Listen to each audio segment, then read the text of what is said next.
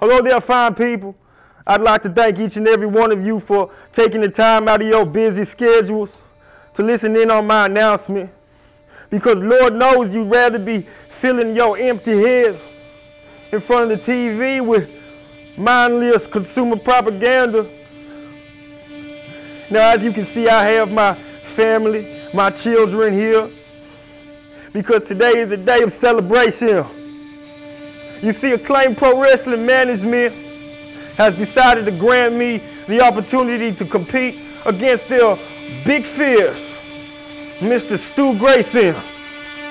Now, with that being said, I'd like to now address Mr. Grayson directly. You see, I know who you are, man. I know what you can do.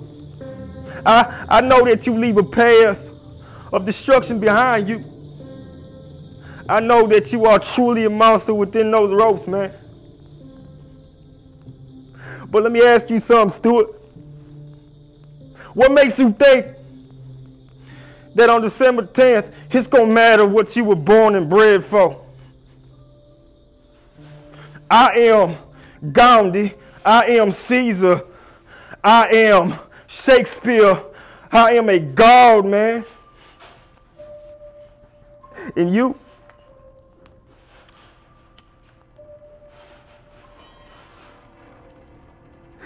You're just, you're just toast, man.